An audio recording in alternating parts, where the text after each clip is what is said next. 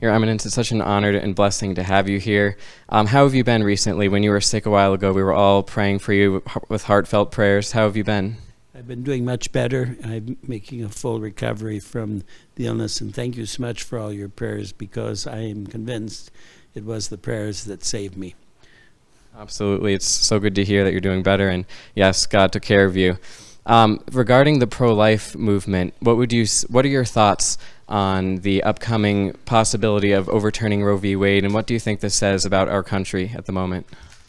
There has always been a strong pro-life movement in this country, and I've always been convinced that the rank and file American is not in favor of killing babies in the womb. And I believe now that they are beginning to, to express their voice, and God willing, the Supreme Court will hand down the decision which in some sad way was leaked in advance, but it's it's a good decision, a, good step forward to restoring the respect for the inviolable dignity of innocent and defenseless, defenseless life. So we all have to be prepared to be witnesses to that because there, there's no doubt there will be a violent reaction on the part of those who are anti-life and uh, who want to they want the culture of death that Roe versus, Wade, Roe versus Wade represents to continue. So we all have to be ready to to be witnesses and to suffer for the sake of the of defending innocent defense of defenseless human life. Yes, definitely. What do you think is the best way for us to live the pro-life mission and message at this point in time?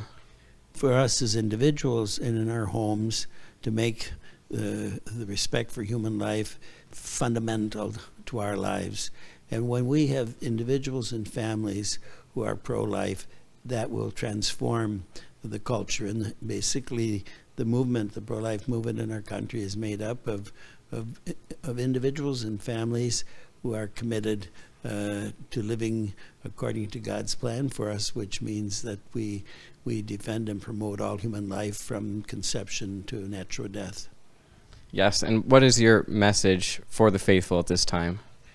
To be, uh, to have hope, to trust our Lord's promises to us, that He will be with us in the church, that He will bring us to our eternal destiny if only we remain faithful.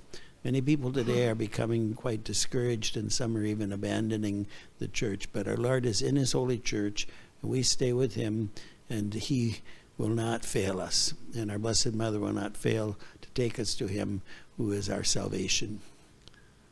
Thank you so much. God bless you. God bless you, John. Your Eminence, I um, uh, again we're so honored to have you here today at the shrine for this beautiful event, and uh, um, I want to ask you one question. Of course, you know the greatest controversy that's been around, especially related to Fatima, has to do with the consecration. You know, the 1984 consecration was it made properly? Was it not? Was it fulfilling Our Lady's request? Um, the consecration made this year on March 25th by the Holy Father uh, was, it, it was I, I thought it was an amazing day myself because here the Holy Father called for this from the request of the Ukrainian bishops primarily but it was a consecration of you know Russia and Ukraine and the whole world. But I felt that because so many bishops and priests and laity joined in, that I think some uh, tremendous things can come from that. What is your opinion, and how do you feel about all this? Yeah. Yes, I would agree with you. I believe that the prayers of so many are lifted up to our Lord for peace in the world, end to this conflict, this terrible war, I should say, and all the atrocities there's no way that our Lord won't hear that prayer. And many join Pope Francis in making this prayer of consecration. Now, he himself made no mention of Fatima and, and never claimed that he was trying to fulfill what Our Lady uh, asked of us at Fatima. But nevertheless, the prayer uh, uh, will be heard, I believe, and, and uh, our Lord will respond to it. But what my message is, as I tried to express it in today's uh, homily, the consecration that our Holy Father made, in according to what Our Lady has taught us at Fatima, demands of us praying the Rosary daily, making acts of reparation, keeping the first Saturdays. And so I just urge everyone to begin uh, to pray the Rosary, make acts of reparation, observe the, the first Saturdays uh, in order to bring about peace in the world. And because she's told us that that is the way, and she's, we can trust that she's told us the truth. You know, the first Saturday's devotion is, in our opinion, the unfulfilled part of the Fatima message.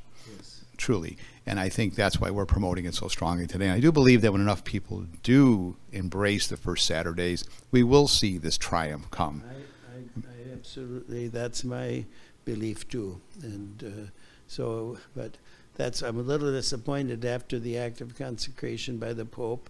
Nothing more has been said about how should the people now live this consecration because it's not just one act and then you expect a magical result from it.